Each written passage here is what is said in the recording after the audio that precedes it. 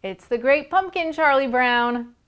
Hi, I'm Laurie from TTPM here with the Peanuts. It's the Great Pumpkin Charlie Brown figure set from Schleich.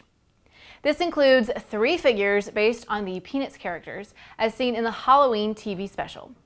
There's Linus with a pumpkin, Snoopy dressed as Flying Ace, and poor Charlie Brown as a ghost who only gets rocks instead of candy in his pillowcase. Each figure stands about two inches tall. These figures would be a fun gift to give a Peanuts fan around Halloween. Young fans ages 3 and up will enjoy playing out scenes from the movie with these figures or imagining all new scenes. If you're a fan and collector, the packaging of this figure set lends itself well to display.